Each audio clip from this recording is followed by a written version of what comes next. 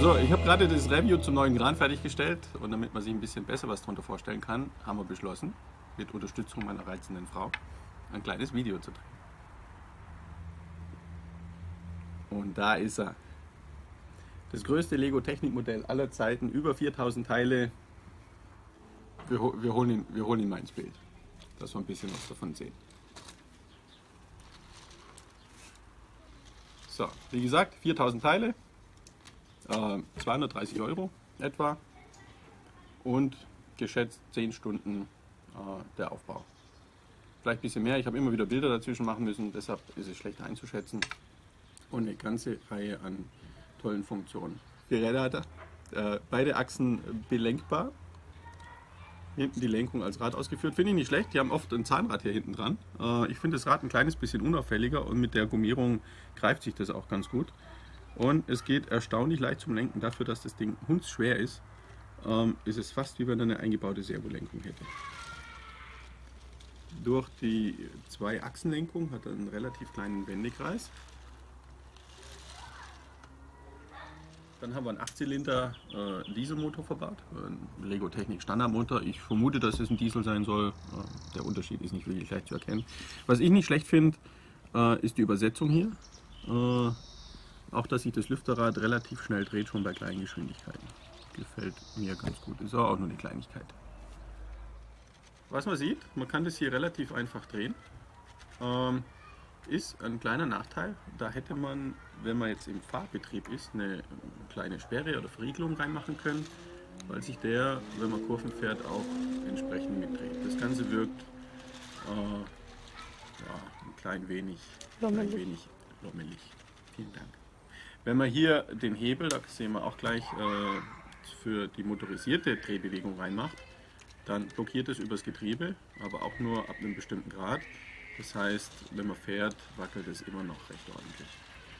Also das wäre für mich so der einzigste Makel, wo ich denke, das hätte man gleich ab, äh, leicht abstellen können. Ähm, äh, zumindest für den Fahrbetrieb. Wenn wir nachher zu den, zu den Funktionen kommen und zur Bedienung, wird man auch sehen, dass das ein ganz fantastischer Vorteil auch ist, äh, der mir ausgesprochen gut gefällt, wenn man mit dem Ding dann auch spielt. An den Ecken haben wir die vier Stützen, auch motorisiert ausfahrbar.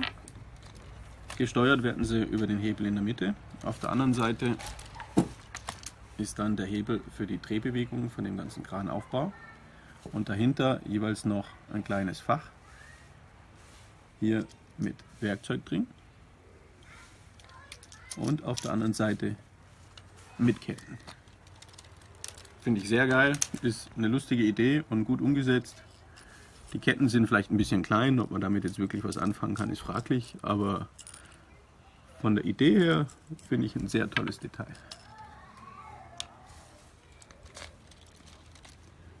Oben der Kranaufbau. Die Bedieneinheit als Gegengewicht zum Kranarm äh, ist sehr schön ausbalanciert, also auch wenn er, wenn er dann auf voller Länge ausgefahren ist. Ähm, der Kranarm selber ist 90 cm lang, das heißt, wenn man den dann ausfährt, wie wir gleich sehen werden, ist denn das schon gewaltige Dimensionen. Bedieneinheit mit der Steuerung vom Kranarm. Und die unteren haben wir gerade schon gesehen. Mit dem Hebel schaltet man um zwischen der Bedienung von dem Kran, also dieses Panel hier, diese Schaltung, und auf der linken Seite dann die unteren Funktionen. Das heißt, das muss man sich raussuchen. Kann man sich hier raussuchen. Äh, die Batteriebox blockiert in eine Richtung, das heißt, ich kann die nur so rum einschalten. Klar, damit sich der Motor immer nur in eine Richtung dreht und die Angaben hoch, runter, rechts, links, raus, rein äh, auf den Beschriftungen äh, immer stimmen. Was ich auch sehr schön gelöst finde, ist, wenn man diesen Pin hier zieht, kann man das hochklappen und kommt gut an die Batteriebox hin. Muss diese kleinen Clips hier rausmachen, auf der anderen Seite auch.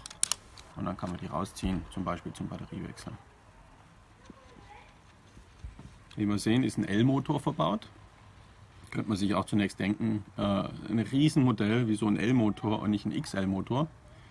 Der XL-Motor ist stärker vom Drehmoment. Der hier hat die höhere Drehzahl und die höhere Drehzahl ist hier wichtig. Über die Übersetzungen hat er von der Kraft her kein Problem, das bewältigt er sehr gut. Wenn man einen XL-Motor nehmen würde, dann würde das Ganze etwa um die Hälfte langsamer ablaufen. Ich habe mal geguckt, der L-Motor ist tatsächlich auch der teuerste, den Lego Technik im Angebot hat. Der XL-Motor äh, ist etwas günstiger, zumindest wenn man sie bei Lego kauft. Das heißt, es ist jetzt nicht so, dass Lego hier äh, gespart hat und hier einen kleineren Motor verbaut, weil sie gesagt haben, das reicht schon für den Kran. Das ist aus meiner Sicht genau die richtige Wahl hier. Also fangen wir mal an, ihn zu benutzen. Hier vorne haben wir Unterlegplatten für die Stützen. Das Gewicht ein bisschen zu verteilen, wenn er mal im Matt steht. Finde ich eine sehr tolle Idee und auch der Platz hier, wo sie aufbewahrt werden, ist fantastisch gelöst. Motor an, umschalten auf die Stützen und ich sehe es nicht, aber das ist raus. Ähm, wenn nicht, wird es jetzt auch übel kracken.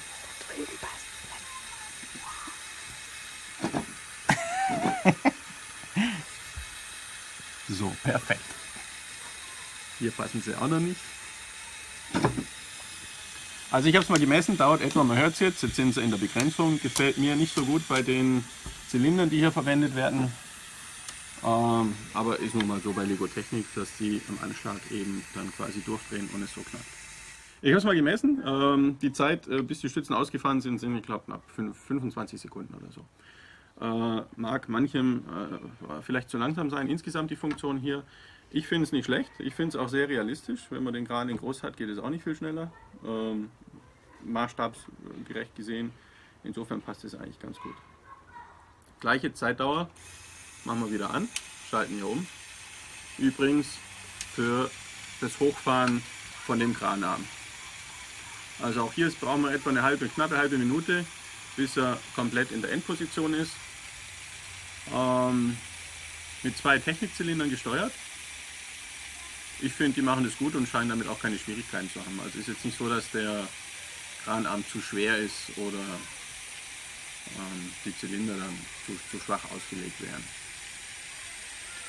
So, jetzt sind wir fast oben.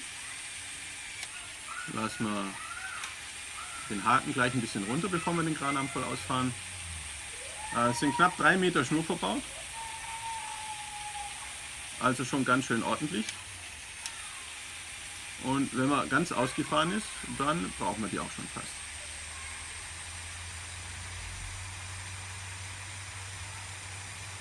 Sehr schön anzuschauen. Hat was Meditatives.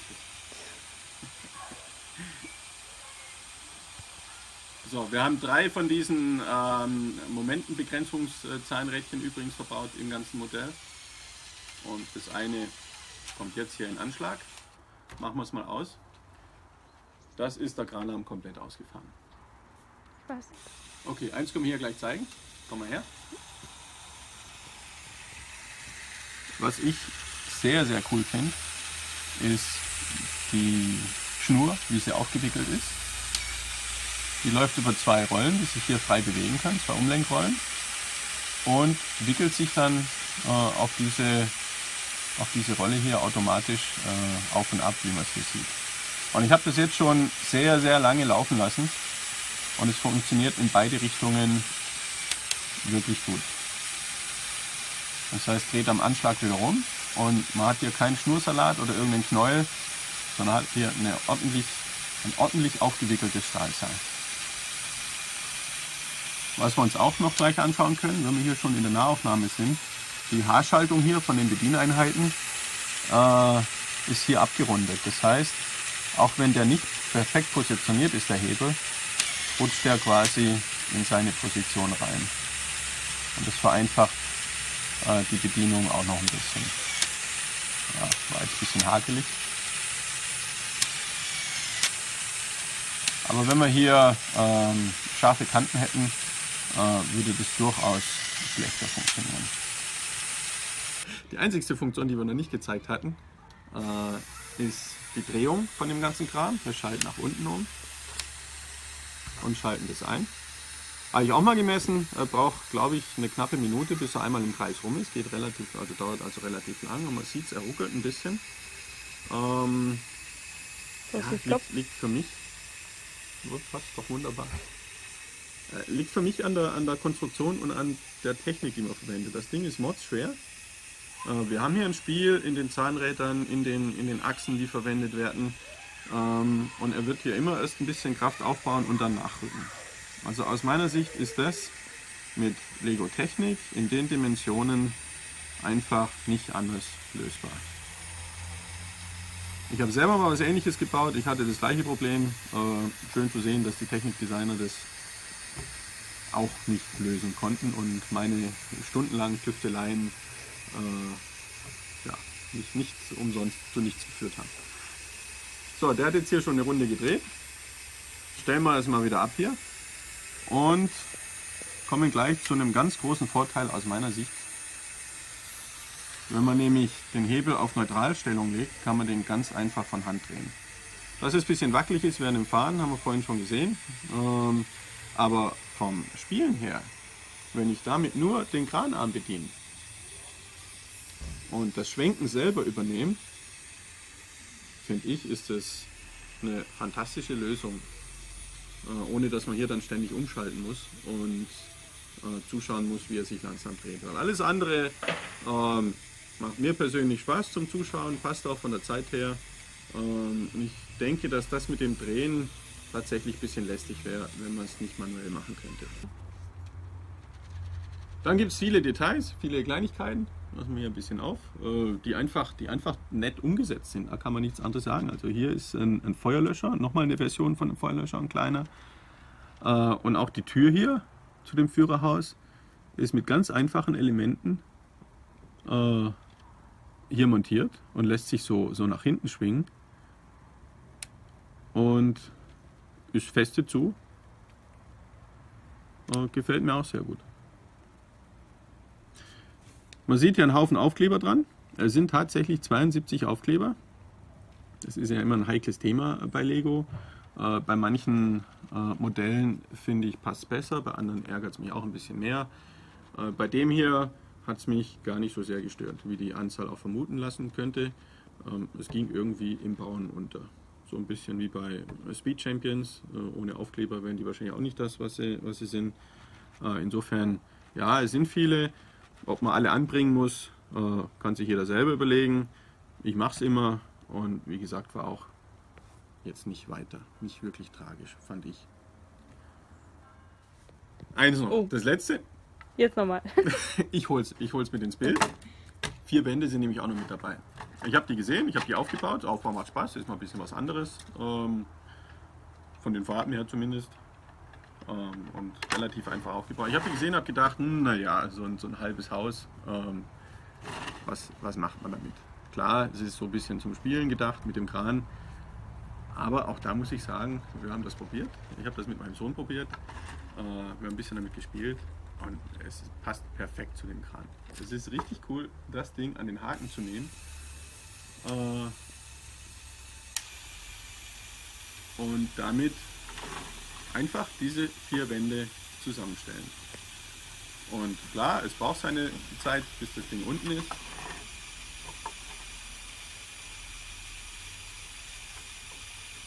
Aber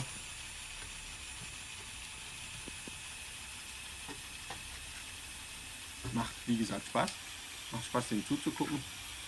Äh, und dann von einer Seite auf die andere, die vier Wände, man kann ja diese, diese Steckpins hier wegmachen, auf die anderen Wände drauf äh, und kann dann das ganze Ding äh, entsprechend zusammenbauen. Die sind nur ineinander gesteckt, man sieht hier Pins hier oben und so Achsenpins hier unten. Das heißt, wenn es dann da steht, kann man versuchen, das von oben reinzulassen und dann direkt an die richtige Position zu bringen.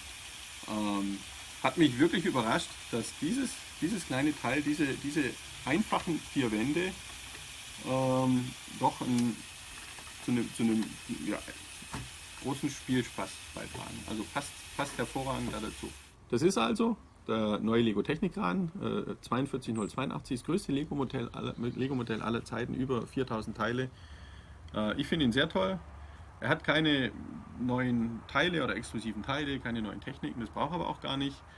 Ähm, hat alles mit dem Bestehenden fantastisch umgesetzt, äh, mit viel Liebe zum Detail. Äh, nur zwei Kleinigkeiten, die mir aufgefallen sind, zwei kleine Macken, äh, zum Beispiel, dass er hier ein bisschen wackelig ist. Sonst für mich absolut perfekt, mit hohem Spielspaß. Zum Aufbau sollte man Lego Technik ein bisschen mögen, sonst können die 10 Stunden sehr, sehr lang werden. Aber wenn man dann hat, Äh, ja, sehr, sehr großer Spaß.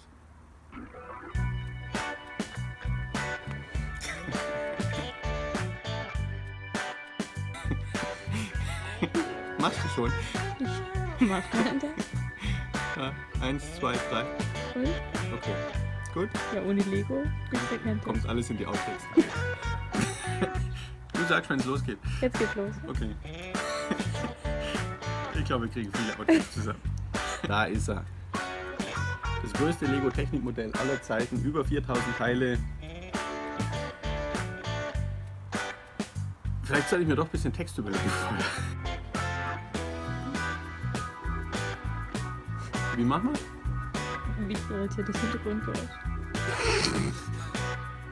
Äh, Ich finde ihn fantastisch und er hat einen enorm hohen Spielfaktor mit extrem durchdachten Funktionen und Bedienmöglichkeiten. Tust du eigentlich auch mit oder? Ja, wirklich alle im Bild. Hier geht es darum, dass man im Video einfach die Funktion mal ein bisschen vorstellen, was er alles kann. Vier Räder hat er, hier hinten die Lenkung. Meine Frau ist übrigens ein großer Lego-Fan. Vier Räder. Ja. Soll ich neu anfangen? Und ich höre deine Tochter schreien. Ich auch. Ja, das geht nicht. Mach schon mal.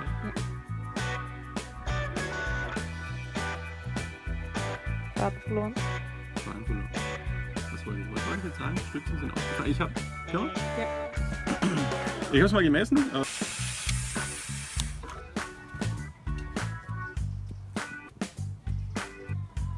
Motor aus heißt. Was wir, was wir noch nicht gezeigt hatten, ist die einzigste Funktion. Die einzigste Funktion, die wir, die einzigste Funktion, die wir noch nicht gezeigt hatten. Fertig? Ja, ja. Ich habe noch eine Frage. Äh, Die bestimmt alle Kinder dieser Welt interessiert. Dreh den mal noch ein Stück.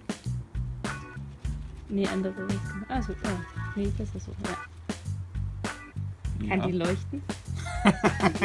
Und blinken? Nein, leuchtet nicht und blinkt nicht. Sehr Nur ein. Zierelement. Sehr schade. Wenn du dich ein bisschen mit Lego auskennen würdest, Tu ich nicht? das stimmt. Nein, kann man, kann man dir auch keinen Vorwurf machen. Ist ein einfaches äh, Element, das nicht leuchtet und nicht blinkt.